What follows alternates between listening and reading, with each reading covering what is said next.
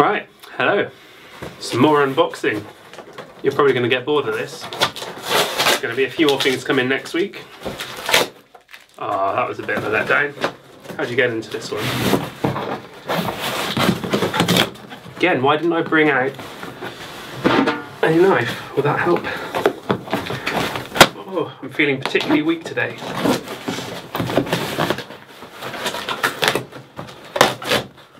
So, oh there, we have. Okay, I'm glad they packed it well, but really, I want to get in now. Oh, that's nice though. Okay. So we have a 20 inch dark crash.